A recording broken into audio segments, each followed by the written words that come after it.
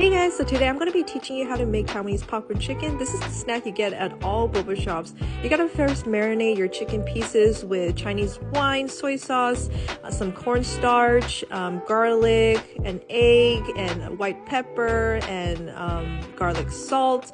And I left this uh, marinating for a couple of days. You're gonna add some basil in there for some fragrance.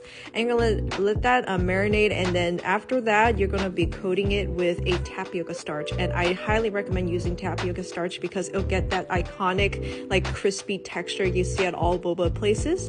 And then you're just gonna let that tapioca starch uh, uh, uh, set for like five minutes and let that really coat because tapioca starch uh, falls off pretty easily.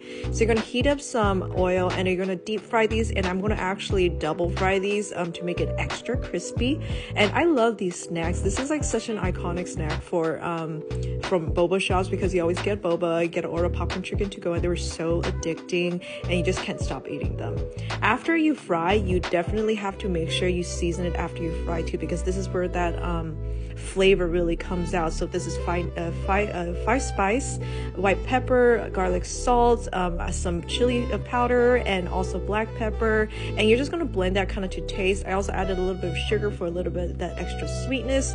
And then this is just up to you, but this is just a blend of the spices um, that I used. And I didn't have any fresh basil to garnish, but that is also another option. And it came out very delicious and fragrant. And my sister and dad loved it. So I hope you guys enjoy this recipe. Try making this out for yourself because it's so good.